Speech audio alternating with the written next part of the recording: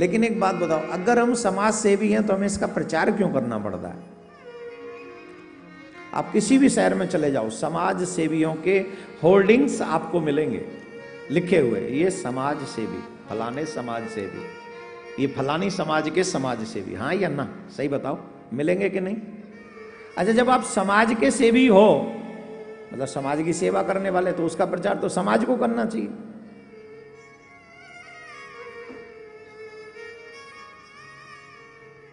आज हमारा समाज कहाँ जा रहा है? किसी ने प्लान मैंने एक दिन और कही थी बात। हमारे समाज का चारित्रिक भयंकर पतन हो रहा है। हो रहा है कि नहीं? समाज में जो कुछ चंद पैसे कमा लेते हैं, उनका बोलबाला है। समाज सेवा किसको कहते हैं? जो सबसे नीचे है आपके समाज में, आप उसकी सेवा करो। बड़े के यहाँ जाके सलूट मत मारो। वो तो उस लायक है वो अपने आप कर लेगा जो कुछ करना है। असली समाज की सेवा की ज़रूरत किसको है? जो हमारे समाज में सबसे छोटे लेवल पे नीचे खड़ा है जिसकी एक समय की रोटी भी नहीं है हम उसकी सेवा करें हम उसके साथ खड़े हों और उसका भी प्रचार न करें। एक जगह हम समाज सेवा देख रहे थे कोरोना में आ, कोई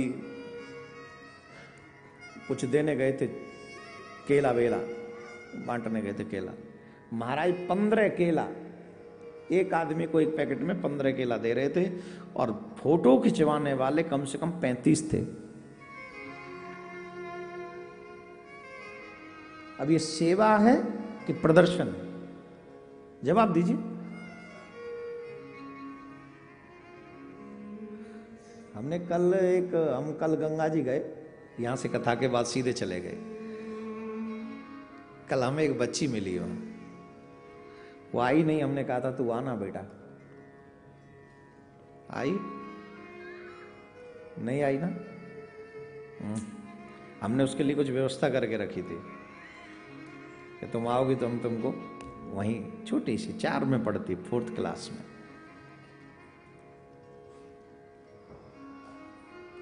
आह, उसका दुख देखने योग्य, सुनाने योग्य भी नहीं है। रो रही थी, परेशान थी। तो हमने कहा, हम आ जाओ। करेंगे कोई सेवा जो हमसे बन पड़ेगी। समाज सेवा की बात हम कर रहे थे। यहाँ हम किसी को अपने लिए भी हम कह रहे हैं। कई बार हमें भी फ़ोटो कराना पड़ता है। हमारे भी फ़ोटो आपने देखे होंगे लेकिन वो ट्रस्ट के होते हैं, वो हमारे नहीं होते। जो धन आप देते हो, उस ट्रस्ट को, ट्रस्ट फिर उससे जो कार्य करता है वो हम आप तक पहुंचाते हैं, उसमें हमारा पर्सनल कोई मैटर नहीं है। और जो हमारा पर्सनल होता है, वो हम कभी किसी को नहीं बताते। हम आपको भी नहीं बता, हम करते ही नहीं तो बताएँगे कहाँ से, हम कुछ करते ही नहीं, यही समझो। लेकिन पर्सनल हम नहीं। समाज सेवा का मतलब हम कह रहे थे, सबसे बड़ी समय समाज में आवश्यकता क्या है, बताइए। बताइए सबसे बड़ी आवश्यकता। मेरी नज़र से अगर देखो तो आज समाज में सबसे बड़ी आवश्यकता है सामाजिक चारित्रिक उत्थान की। कि हमारा चारित्रिक उत्थान हो जो पतन हो चुका।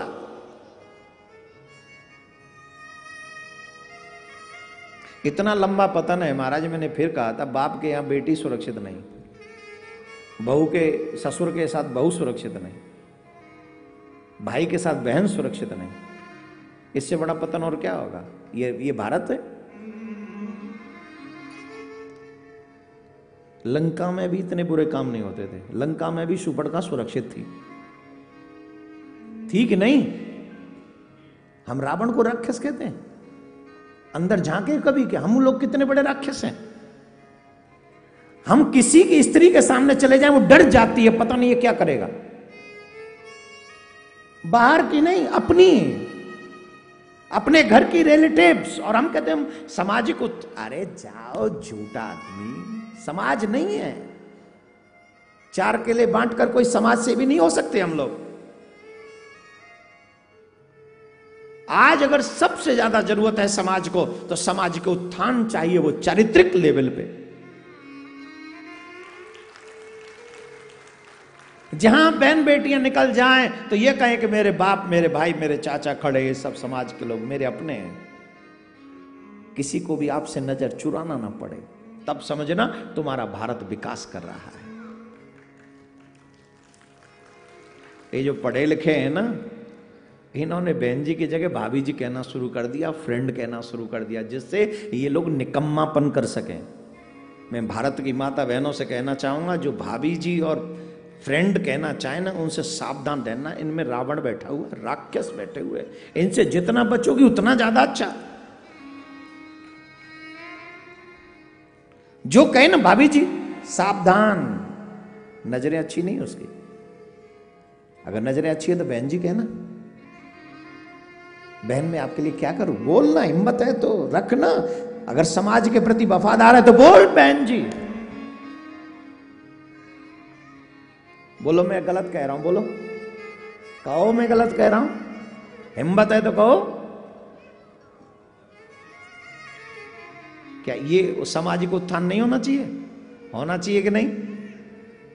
प्रश्न वो, कार्य वो, जो समाज को प्रेरणा दे सके। सुखदेव जी महाराज से प्रश्न किया परीक्षित ने, कौन सा? जिसकी मृत्यु निश्चित है, वो क्या करे? समाज के हित के लिए प्रश्न है ये। राजा परीक्षित के लिए नहीं अकेला क्योंकि मृत्यु तो हम सबकी होनी है। और मैं जिस सामाजिक उत्थान की बातें कर रहा हूँ ये सामाजिक उत्थान हमारे पूरे देश के लिए है। पूरे आ, समाज के लिए है हमारे सनातनियों के लिए है। अगर बहन बेटियाँ सुरक्षित होंगी अब बहन बेटियाँ भी समझ लें भाइयों को भी सुरक्षित रखना यह भी निवेदन है आपसे। आजकल तो कोई आ, बड़ी चीज़ हो गई है। एक सेकंड में कुछ भी कह देते अच्छा जानते नहीं हो तुम? कानून हमारे पक्ष में है। कानून आपके पक्ष में है पर बहन जी आपके भी घर में भैया है उसके भी घर में कोई देवियाँ हैं है?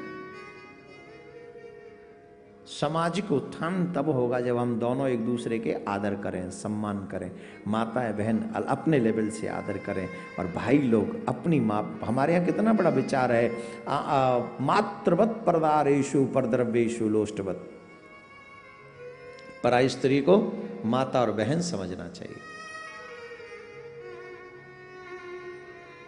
वही देवियों के लिए पराई पुरुष को पुत्र, भाई और पिता के समान देखना चाहिए। ये हमारी ऋषि परंपरा है। हमने ऋषि परंपरा का अनादर किया, जिसके कारण हम दुख पा रहे हैं।